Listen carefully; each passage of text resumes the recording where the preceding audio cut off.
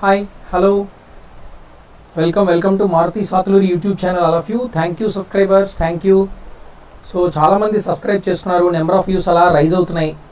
So మీరు ఒక్కటి మాత్రం మర్చిపోతున్నారు. లైక్ చేయటం మర్చిపోతున్నారు. So please don't forget to like my video if you really like it okay అది మాత్రం మర్చిపోకండి. లైక్ చేయండి చక్కగా. వ్యూస్ మీ ఫ్రెండ్స్ అందరికీ షేర్ చేయండి. నా వీడియోస్ని షేర్ చేసి చక్కగా నా తాలూకా వ్యూస్ని పెంచడానికి ట్రై చేయండి. ఓకే? నిజంగా మీకు నచ్చినట్టయితే షేర్ చేయండి. డోంట్ ఫర్గెట్ ఇట్ నెక్స్ట్ మనం ప్రీవియస్ వీడియో వరకు చాప్టర్ లెవెన్ వరకు కంప్లీట్ చేసేస్తున్నాం. So today I'm going to discuss about the chapter twelve that is alternative forms alternative forms అనేది మనం ఇప్పుడు చెప్పుకోబోతున్నాం. సో మనకు ఓవరాల్గా ఈ పిట్మ్యాన్ షార్ట్ హ్యాండ్ బుక్ అన్నింటిలోకి మొత్తంగా మనం అబ్జర్వ్ చేస్తే ఇప్పుడు ట్వెల్త్ చాప్టర్లో మనం ఉన్నాం. సో అతి త్వరలో మనం ఈ బుక్ కంప్లీట్ చేయడానికి ట్రై చేద్దాం. ఓకే చాలామంది సార్ ఇంకా ఎన్ని రోజుల్లో కంప్లీట్ అవుతుంది? అని అడుగుతున్నారు. సో నార్మల్గా మనకి ఈ సిలబస్ కంప్లీట్ అవడానికి minimum six to maximum seven months తీసుకుంటున్నాను. Minimum six to maximum seven months. Okay రోజు మీరు వన్ అవర్ ఆఫ్లైన్ క్లాస్ ఒక ఇంటి దగ్గర ఒక one hour or maximum two hours practice కానీ చేయగలిగితే అంటే ఆఫ్లైన్లో ఈ ఏ ఇన్స్టిట్యూట్ ఏ ఇన్స్టిట్యూట్కైనా మీరు వెళ్ళి ఆఫ్లైన్లో ఆ కోర్స్ నేర్చుకుని ఒక టూ అవర్స్ ఇంటి దగ్గర కానీ చక్కగా ప్రాక్టీస్ చేయగలిగితే డెఫినెట్లీ సిక్స్ మంత్స్లో మీకు ఈ కోర్స్ కంప్లీట్ అయిపోతుంది. సో ఇప్పుడు మనం వీడియోస్ రోజుకి ఆల్మోస్ట్ నేను ఒక చాప్టర్ రోజుకి పెట్టడానికి ట్రై చేస్తాను. ఓకే కాబట్టి మరి కొంచెం ఫాస్ట్గా మనకు అవడానికి ఛాన్స్ ఉంటాయి. వన్ అంటే వన్ డేలో అవ్వదు. మ్యాక్సిమం నేను ఎంత ట్రై చేసినా వన్ డేలో అవ్వదు. ఒక వన్ ఆర్ టూ డేస్లో మాత్రం డెఫినెట్గా నేను కంప్లీట్ చేయడానికి ఆ చాప్టర్ని కంప్లీట్ చేయడానికి మనం ట్రై చేస్తాం. ఎందుకంటే maximum five to six points కన్నా ఎక్కువ ఉండవు. కాకపోతే ఆ సిక్స్ పాయింట్స్ ఎక్స్ప్లెనేషన్ అనేది కొంచెం ఎక్కువ టైం తీసుకుంటుంది. సో మీరు కొంచెం జాగ్రత్తగా మీరు ఆ కాన్సెప్ట్ని ఆ పాయింట్స్ ఏవైతే ఉన్నాయో ఆ పాయింట్స్ని మీరు మైండ్లో పెట్టుకోవడానికి ట్రై చేయండి. రైట్ ఇంకెళ్ళిపోదాం మనం. ఆల్టర్నేటివ్ ఫార్మ్స్ అనే చాప్టర్లోకి అయితే before I'm going to the chapter or before I'm going to discuss about the chapter మీరు ఒక ఇంపార్టెంట్ పాయింట్ గుర్తుపెట్టుకోవాల్సింది ఏంటి అంటే ఎస్ఎస్సి స్టెనోగ్రాఫర్ ఎగ్జామ్కి ఎవరైతే ఎపీర్ అయ్యారో ఎవరైతే uh, అప్లై చేశారో వాళ్ళకి ఈ కోర్స్ చాలా హెల్ప్ అవుతుంది. కాబట్టి మొదటి నుంచి చివరి వరకు ఈ కోర్స్ని అలా ఫాలో అవ్వండి. చాలామంది అదే అడుగుతున్నారు సార్ ఎస్ఎస్సి స్టెనోగ్రాఫర్కి హండ్రెడ్ వర్డ్స్ పర్ మినిట్ మాకు రావాలి. ఎలా అయినా సరే హండ్రెడ్ వర్డ్స్ పర్ మినిట్ వచ్చేటట్టుగా మాకు ట్యూన్ చేయండి సార్ అని అడుగుతున్నారు. కొన్ని కొన్ని మోటివేషనల్ వీడియోస్ కూడా పెట్టండి సార్ అని అడుగుతున్నారు. మోటివేషనల్ వీడియోస్ అని అంటే ట్రై చేస్తాను పెట్టడానికి. సో మీరు ఫస్ట్ నాకు మోటివేట్ చేయండి. మీ లైక్స్తోని మీ వ్యూస్తోని మోటివేట్ చేస్తే definitely I will get motivated. And once I have getting motivated definitely I will give the complete motivation to you. Okay?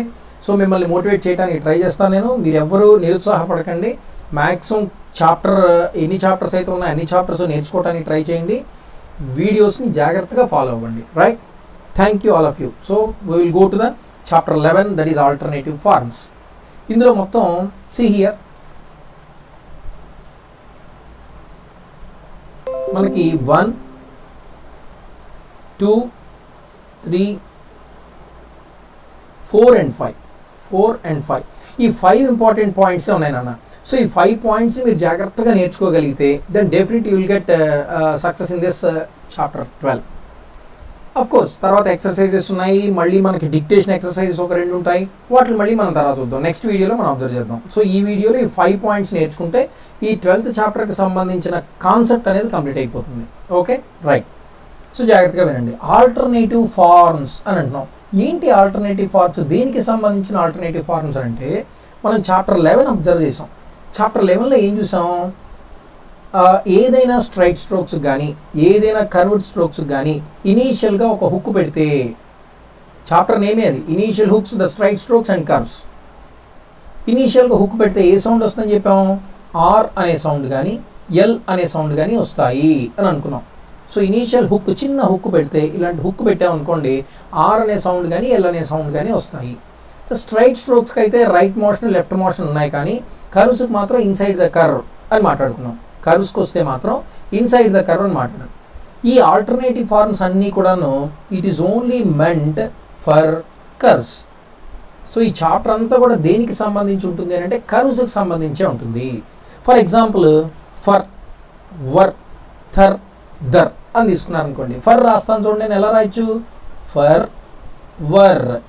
దీన్ని కొంచెం నేను థిక్ చేస్తున్నాను. ఇది థిక్ చేయడానికి అవ్వదు కాబట్టి ఈ డిజిటల్ బోర్డులో అవ్వదు కాబట్టి మీరు మీరు జాగ్రత్తగా థిక్ పెన్సిల్ థిక్ చూసుకోండి. ఇది వర్. ఇదేమో fer. Fer ver. Ther dher. Okay? Fer ver ther dher. ఇలా తీసుకున్నారనుకోండి. ఇవి జనరల్గా మనం రాసే అంటే రెగ్యులర్గా ఎలా అయితే ఇంతకుముందు మనం చాప్టర్ లెవెన్లో అబ్జర్వ్ చేసామో దానికి సంబంధించినటువంటి సింబల్స్ ఇలా కనిపిస్తాయి మనకి. స్ట్రోక్స్ ఇలా ఉంటాయి. అయితే వెన్స్ ఇవి ఎప్పుడు వాడాలి? ఇవి ఎప్పుడు వాడాలి? అనేది మనకు తెలియాలి.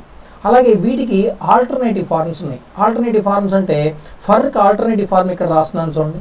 ఫర్ ఇది ఆల్టర్నేటివ్ ఫార్మ్ చూసారా? ఫర్కి ఆల్టర్నేటివ్ ఫార్మ్ ఎలా రాసానో చూడండి. వర్కి ఆల్టర్నేటివ్ ఫార్మ్ రాస్తున్నాను చూడండి.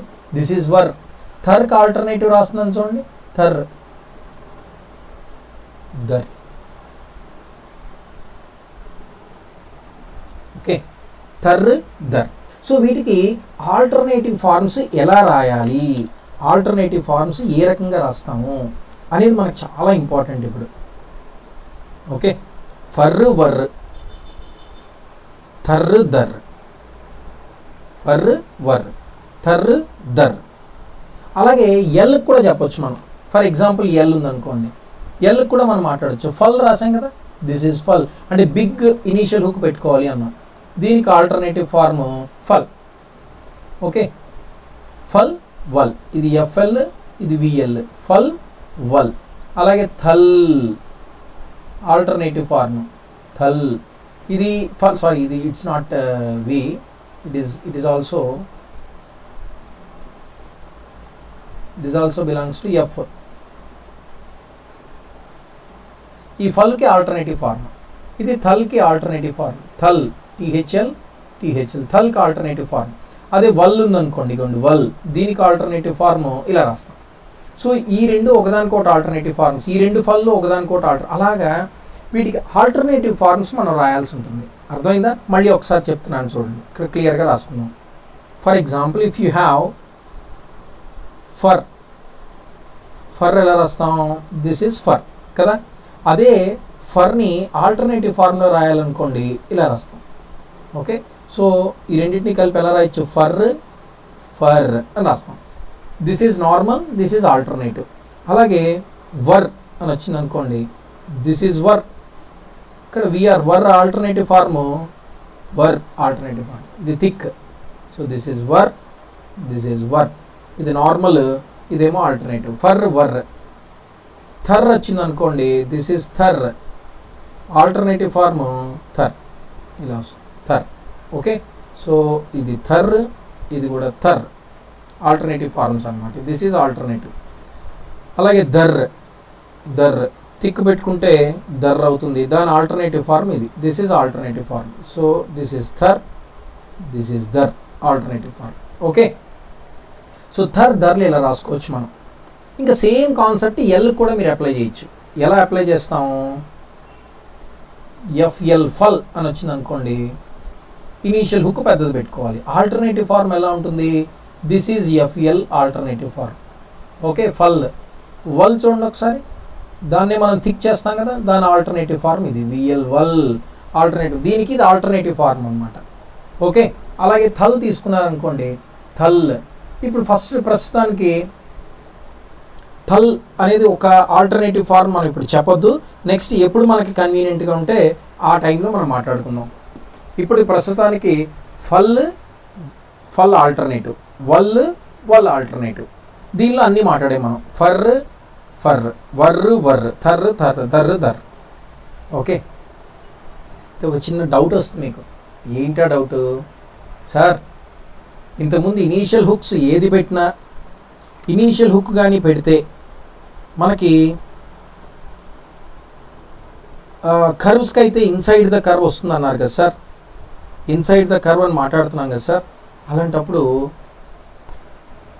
ఇది ఎస్ఆర్ సర్ అయిపోవచ్చు కదా సార్ అనే డౌట్ వస్తుంది. అంతేనా? ఇది ఎస్ కదా? ఎస్కి ఇనీషియల్ హుక్ పెడితే సర్ అయిపోతుంది కదా? కానీ అలాంటి సర్రు జి జర్ మనం అక్కడ స్టార్లు పెట్టాం. అవి వాడకూడదు. సర్ జర్లు వాడకూడదు. గుర్తుపెట్టుకోండి. ఎక్కడెక్కడైతే మనకి ఎస్ఆర్ సర్ అని రాయాల్సి వస్తుందో మనకి ఓన్లీ ఏంటంటే ఫర్రు వర్రు థర్ర దర్రు షర్రు జర్రు అంతే. సర్ జర్లు లేవు. సర్ జర్ ఎందుకు లేవు? ఇప్పుడు చాప్టర్ ట్వెల్వ్లో మనకి థర్ ప్లేస్లో థర్ అనే ఆల్టర్నేటివ్ ఫార్మ్ వస్తుంది. It is equal to ser అందుకని సర్ అనేది చాప్టర్ లెవెన్లో మనం రాయము. అలాగే థర్ థర్కి ఆల్టర్నేటివ్ ఫార్మ్ థర్ ఇది జెడ్ఆర్ అయిపోవచ్చు. అందుకని జెడ్ఆర్ అక్కడ రాయము. చాప్టర్ లెవెన్లో రాయకూడదు. ఇనీషియల్ హుక్ని పెట్టకూడదు. గుర్తుపెట్టుకున్నారా? రైట్. ఇది చాలా ఇంపార్టెంట్ మనకి. అలాగే ఫల్ వల్ ఫల్ వల్ ఈ రెండింటికి ఆల్టర్నేటివ్ ఫార్మ్స్ ఉన్నాయి. ఓకే? రైట్. సో ఇప్పుడు మనం ఫస్ట్ పాయింట్కి వచ్చేద్దాం. ఈ ఈ నార్మల్ ఫల్ ఫర్ వర్లు ఎప్పుడు రాస్తాం? ఆల్టర్నేటివ్ ఫర్ వర్లు ఎప్పుడు రాయాలి? ఆల్టర్నేటివ్ ఫార్మ్స్ ఎప్పుడు రాయాలి? నార్మల్ ఫార్మ్స్ ఎప్పుడు రాయాలి? అది మనకి ఇంపార్టెంట్ కాన్సెప్ట్ అనమాట సో ఫస్ట్ పాయింట్ ఒకసారి చూడండి. When standing alone the left curves fer ver ther dher are used. ఇప్పుడు ఇఫ్ ఏ ఓవెల్ ప్రిసీడ్స్ ఒకవేళ ఓవెల్ కానీ ప్రిసీడ్ అయితే అది ఇంపార్టెంట్ స్టాండింగ్ ఎలోన్ వచ్చి ఒకవేళ ఓవెల్ కానీ ప్రిసీడ్ అయితే ఓవెల్ ప్రిసీడ్ కానీ అయితే అప్పుడు లెఫ్ట్ కర్వ్ అంటే నార్మల్ ఏదైతే రాస్తున్నామో అదే రాయాలి ఫర్వర్ థర్దర్లకి అలా కాకుండా if a oval does not precedes right curves like fer ver ther der should be right right curves మాత్రమే మనం రాయాల్సి ఉంటుంది.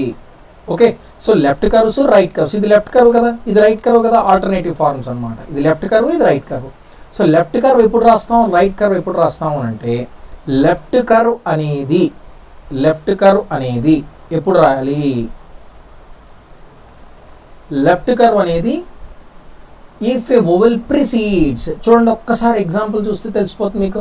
This is left curve it is right curve ఫర్కి వర్కి it is left curve it is right curve okay థర్కి చూడండి it is left curve it is right curve దర్కి చూడండి it is left curve it is right curve okay so affray అని వచ్చింది. For ఆ ఫ్రే ఆ అంటే అబౌద్ line ఫ్రే ఫర్ ఏది రాయాలి? లెఫ్టా రైటా ఇది లెఫ్ట్ ఇది రైట్ ఇది లెఫ్ట్ కర్వ్ ఇది రైట్ కర్వ్ ఇది లెఫ్ట్ కర్వ్ ఇది రైట్ కర్వ్ ఇది లెఫ్ట్ కర్వ్ ఇది రైట్ కర్వ్ ఎలోన్ వచ్చి స్టాండింగ్ ఎలోన్ వచ్చి ఇన్ కేస్ ఓవెల్ కానీ ప్రిసీడ్ అయితే లెఫ్ట్ కర్వే రాయాలి. అఫ్రే అని వస్తాం ఓకే అఫ్రే అలా కాకుండా ఓవెల్ కానీ ప్రిసీడ్ అవ్వకపోతే చూడండి ఫ్రే అని ఉంది. ఫ్రే ముందర ఏ ఓవిల్ లేదు కదా?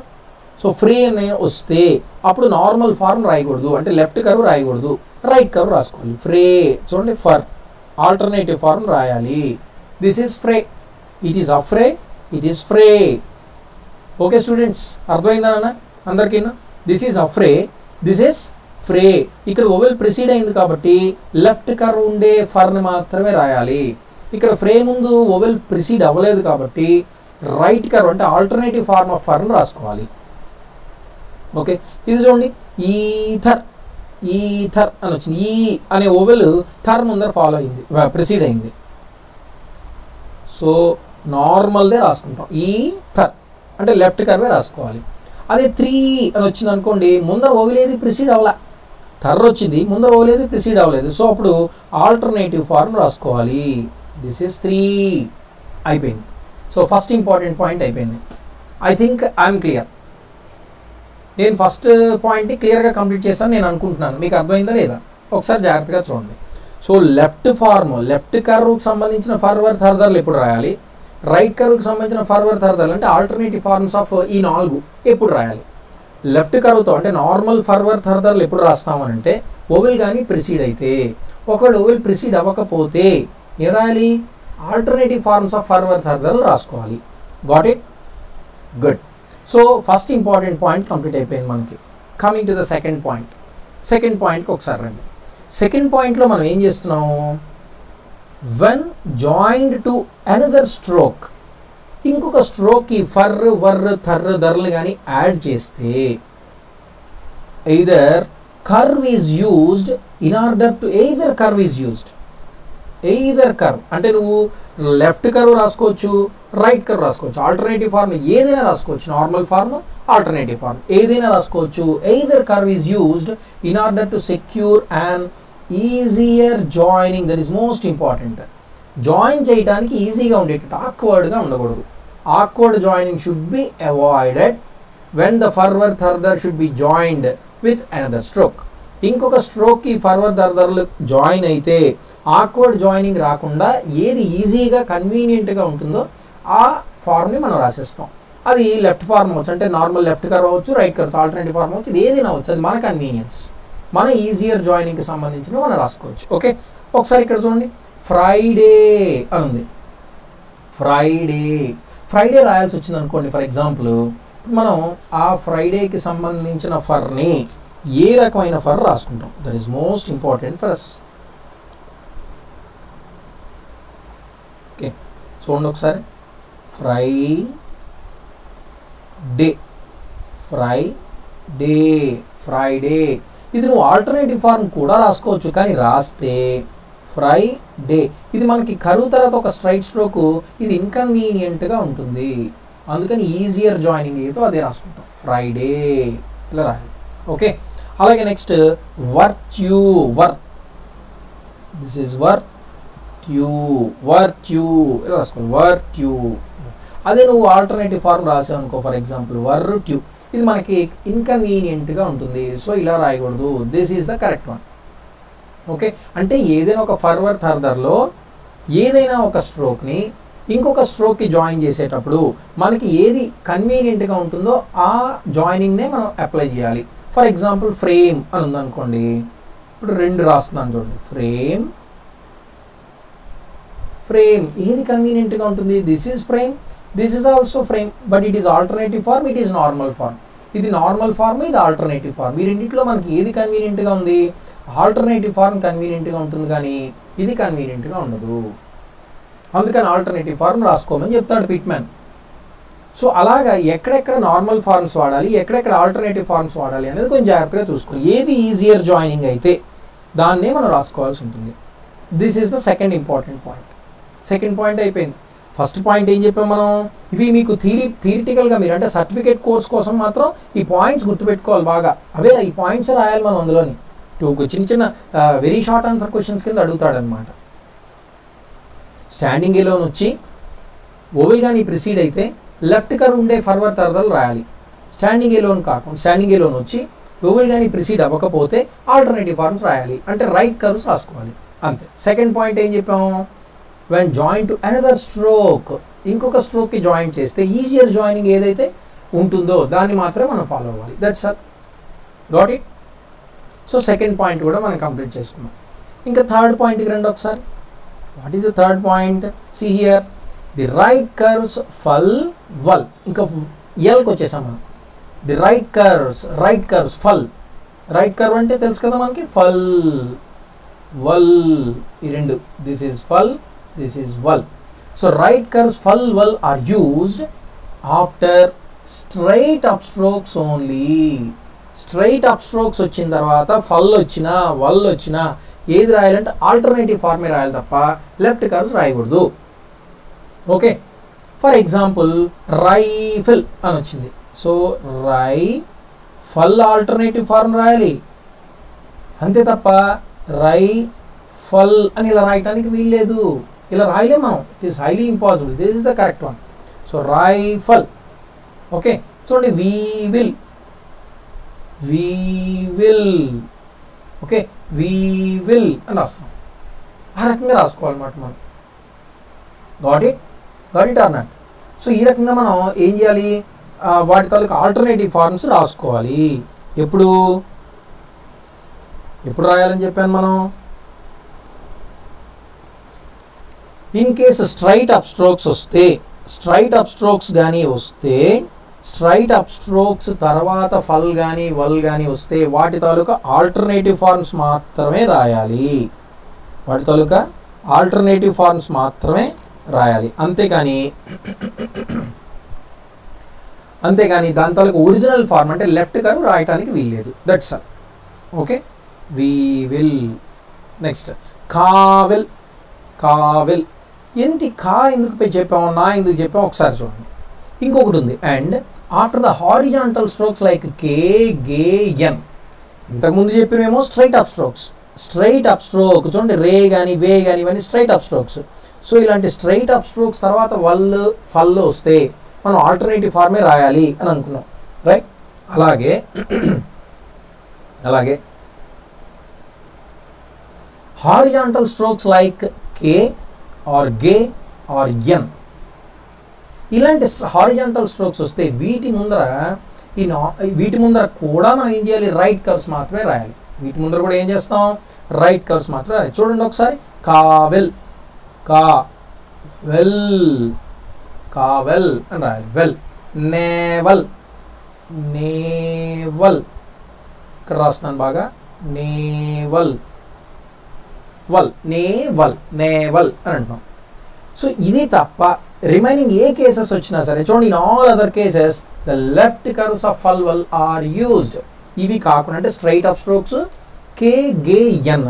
ఇవి కాకుండా ఇంకెక్కడ వచ్చినా ఫర్ ఎగ్జాంపుల్ జాయ్ఫుల్ అని వచ్చింది అనుకోండి. ఇక్కడ రాస్తున్నాను చూడండి. జాయ్ఫుల్ అని వచ్చింది ఎక్కడ రాస్తాం? జే ఫల్ జాయ్ మామూలు ఫలే రాస్తున్నాను. ఆల్టర్నేటివ్ ఫార్మ్స్ రాయట్లేదు కదా. ఆల్టర్నేటివ్ ఫార్మ్స్ రాయకూడదు ఇక్కడ.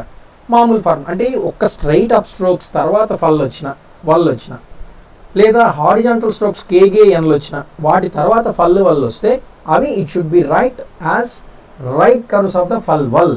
Alternative ఫార్మ్స్ మాత్రమే రాయాలి. ఓకే? థర్డ్ పాయింట్ అయిపోయింది. ఈజీయే కదా? కానీ ఇది కొంచెం పెద్ద చాప్టర్ ఆల్టర్నేటివ్ ఫార్మ్స్ అనేది కొంచెం పెద్ద చాప్టర్ మనకి. జాగ్రత్తగా చూసుకోవాలి. ఆ రూల్స్ గుర్తుపెట్టుకోవాలి. నెక్స్ట్ ఫోర్త్ పాయింట్కి రండి అన్న. ఫోర్త్ ఇంపార్టెంట్ పాయింట్కి యా ఫోర్త్ ఫిఫ్త్ రెండు కూడా ఒకేలాంటివి రెండు కూడా చాలా ఇంపార్టెంట్ మనకి. ఫోర్త్ అండ్ ఫిఫ్త్ చాలా important. Very very very very important. So number of times వస్తుంది. కొంచెం జాగ్రత్తగా రాసుకోవాలి ఇవి. Okay?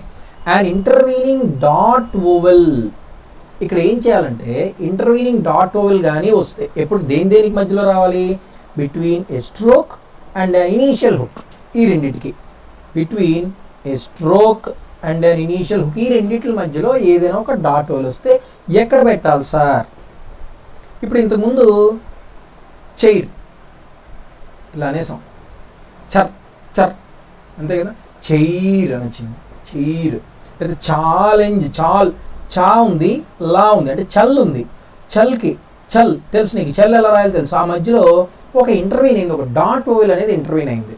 చాల్ నరేట్ నర్. ఎన్ ఉంది ఆర్ ఉంది. నర్.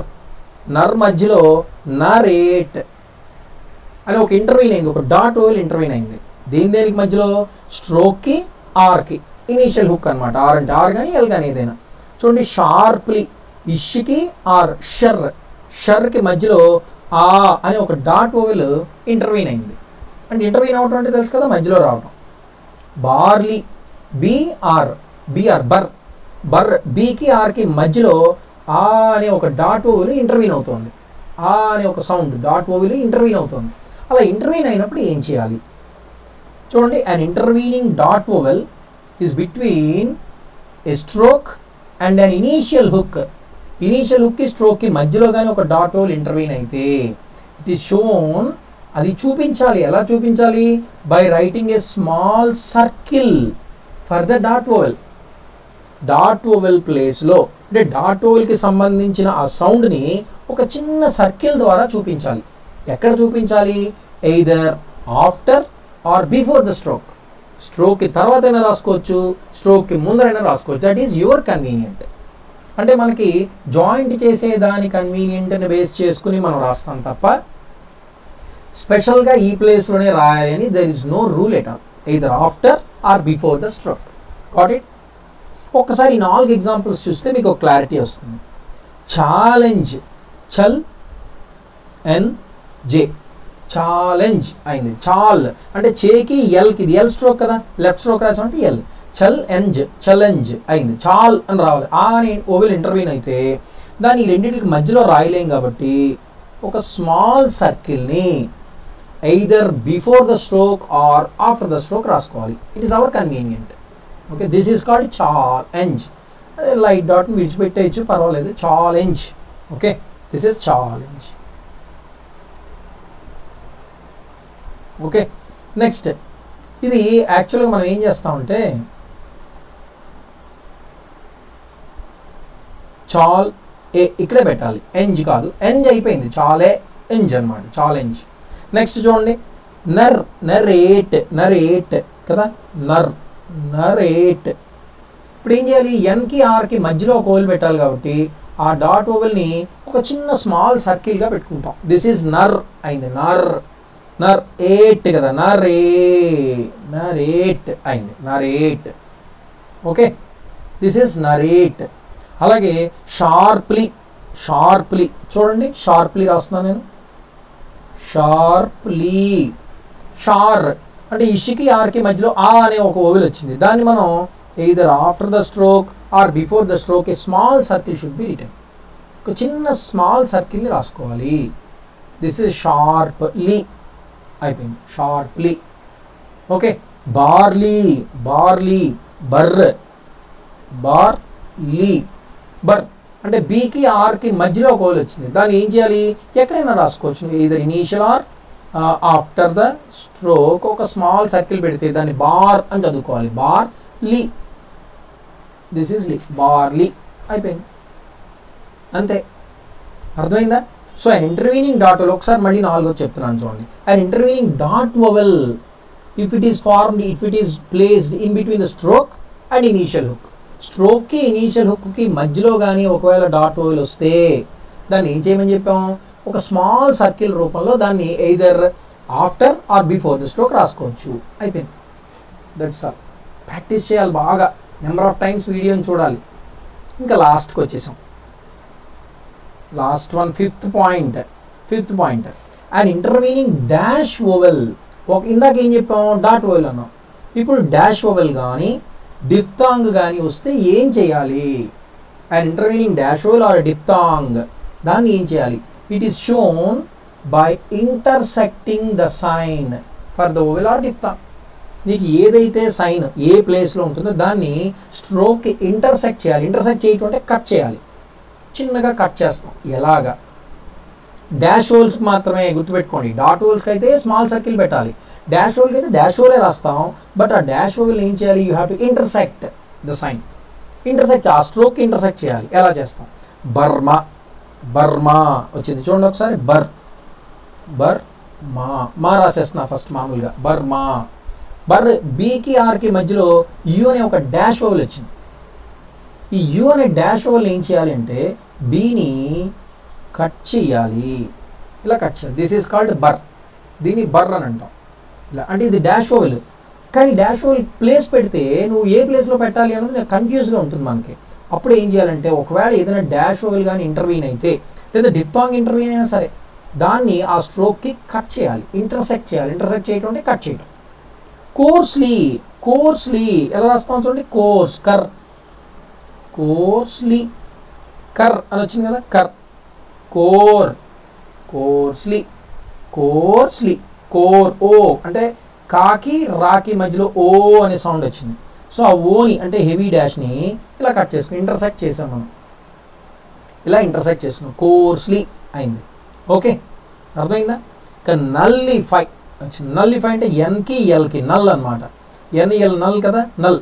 నల్ యూ అనే ఒక డాష్ ఫవెల్ ఉంది. అది ఇంటర్వీన్ అయింది. ఆ డాష్ ఫవెల్ని కట్ చేయాలి మనం. ఎలాగా? నల్. నల్ ఫై. నల్ ఫై. తగలాలి ఇది. సో నల్ ఫైవ్ రాశాను ఫస్ట్ నల్ అంటే ఏం చేయమని చెప్పాను? ఆ డాష్ వదిలి కట్ చేయండి. యూతో వచ్చింది కాబట్టి సెకండ్ ప్లేస్లో లైట్ డాష్ పెట్టుకుంటాం. నల్ ఫైవ్ ఓకే అర్థమైందా? నెక్స్ట్ ఇచ్చోండి నల్ లీ ఫైవ్ యాక్చువల్గా నల్ లీ ఫైవ్ ఈ ఫైవ్ అని రాసుకోవచ్చు పర్వాలేదు. లైట్ డాట్లు ఏమైనా ఉంటే వదిలేయచ్చు అని కూడా చెప్పాను నేను ఇంతకుముందు లెక్ట్యూర్ లెక్ట్యూర్ లెక్ వరకు ఓకే. ట్యూర్ టీకి ఆర్కి టర్ ఇది. టీఆర్ అంటే టర్ ఆ మధ్యలో యూ అనే డిప్తాంగ్ వస్తుంది ఇక్కడ. డిప్తాంగ్ వచ్చిన ఆ డిప్తాంగ్ని కూడా దానికి కట్ చేయాలి ఇంటర్సెక్ట్ చేయాలి. ఎలాగో చూడండి ఒకసారి. ఎల్ కే టర్ లెక్ట్యూర్ యు అనే డిప్తాంగ్ ఉంది కదా? యు డిప్తాంగ్ తెలుసు కదా అందరికీ? ఈ యు డిప్తాంగ్ని ఆ టీ టర్కి కట్ చేయాలి టర్కి ఇంటర్సెక్ట్ చేయాలి. దిస్ ఇస్ కాల్డ్ లెక్ట్యూర్ అని అంటున్నాం. దిస్ ఇస్ కాల్డ్ లెక్ట్యూర్ అలా రాశాం. సో డాట్ ఓవెల్ వస్తే సర్కిల్స్ పెట్టాలి. ఇలా చిన్న సర్కిల్ పెట్టుకోవాలి. అది డాష్ ఓవెల్ వస్తే ఇంటర్సెక్ట్ చేయాలి అంటే కట్ చేయాలి. ఓకే? ఇవి రెండు పాయింట్స్. ముందర మూడు పాయింట్స్ ఏంటేంటి? ఫర్వర్ ఆల్టర్నేటివ్ ఫార్మ్స్ ఎప్పుడు రాయాలి? నార్మల్ ఫార్మ్స్ ఎప్పుడు రాయాలి? అంటే ఓవెల్ ప్రిసీడ్ అయితే నార్మల్ ఫార్మ్. ఓవెల్ ప్రిసీడ్ అవ్వకపోతే ఆల్టర్నేటివ్ ఫార్మ్. అలాగే ఆ ఫర్వర్ థర్దర్లు ఏమైనా జాయిన్ చేస్తే ఈజియర్ జాయినింగ్ ఏది ఉంటుందో అది మన కన్వీనియన్స్ ప్రకారంగా రాసుకెళ్ళిపోవచ్చు. అది సెకండ్ పాయింట్ థర్డ్ పాయింట్ ఏంటి? వల్ ఫల్ కానీ వల్ కానీ అంటే ఇంకా ఆర్లు అయిపోయి. ఇంకా నెక్స్ట్ ఫల్ కానీ వల్ కానీ ఎల్ వస్తున్నాయి. ఫల్ వల్ ఎలా రాయాలి? ఆల్టర్నేటివ్ ఫార్మ్స్ ఎప్పుడు రాస్తామని అంటే రెండు ఇంపార్టెంట్ పాయింట్స్ ఉన్నాయి ఒకటి స్ట్రైట్ అప్ స్ట్రోక్స్ వచ్చినప్పుడు దాని తర్వాత కానీ ఫల్ వల్ వస్తే ఆల్టర్నేటివ్ ఫార్మ్స్ రాయాలి. అలాగే సెకండ్ హారిజాంటల్ స్ట్రోక్స్ వస్తే కేగేఎన్ అనే హారిజాంటల్ స్ట్రోక్స్ వస్తే వాటి తర్వాత వచ్చే ఫల్ వల్ కూడా ఆల్టర్నేటివ్ ఫార్మ్సే రాసుకోవాలి. Okay? Next fourth point fifth point ఏం చెప్పాం మనం? ఒకవేళ డాట్ ఓల్ కానీ ఇంటర్వ్యూన్ అయితే దేని దేనికి ఇంటర్వ్యూన్ అవ్వాలి? ఈ స్ట్రోక్కి ఆర్ అనే సౌండ్కి అంటే కరువుకి ఇనీషియల్ హుక్కి స్ట్రోక్కి మధ్యలో ఒకవేళ ఆర్ ఏదైనా డాట్ ఓల్ కానీ ఇంటర్వ్యూన్ అయితే స్మాల్ సర్కిల్ పెట్టుకోవాలి. అది ఎక్కడైనా ఏదో before or after the stroke అదే డాష్ ఓల్ కానీ ఇంటర్వ్యూన్ అయిందనుకోండి ఇనీషియల్ హుక్కిను స్ట్రోక్కి మధ్యలో అప్పుడు ఆ డాష్ని ఆ స్ట్రోక్కి కట్ చేయాలి ఇంటర్సెక్ట్ చేయాలి అని అంటాం. దట్స్ ఇక్కడతో మనకి ఈ చాప్టర్ అనేది కంప్లీట్ అయిపోయింది. అంటే కాన్సెప్ట్ అనేది కంప్లీట్ అయిపోయింది. దీనికి సంబంధించిన గ్రామ్ లాక్స్ దీనికి సంబంధించిన ఎక్సర్సైజెస్ మీరు చేయాల్సి ఉంటుంది. ఓకే సో మీరు ఎక్సర్సైజెస్ ఏం చేయాలి అంటే ఇందులో ఎగ్జాంపుల్స్ అన్నీ బాగా ప్రాక్టీస్ చేయండి.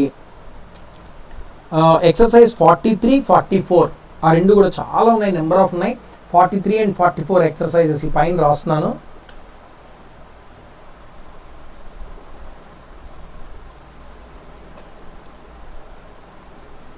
Exercises forty three and forty four మీరు బాగా ప్రాక్టీస్ చేస్తే నేను గ్రెమలాక్స్ చెప్పేసి forty five and forty six ఆ రెండింటిని కూడాను డిక్టేట్ చేస్తాను నా నెక్స్ట్ వీడియోలో.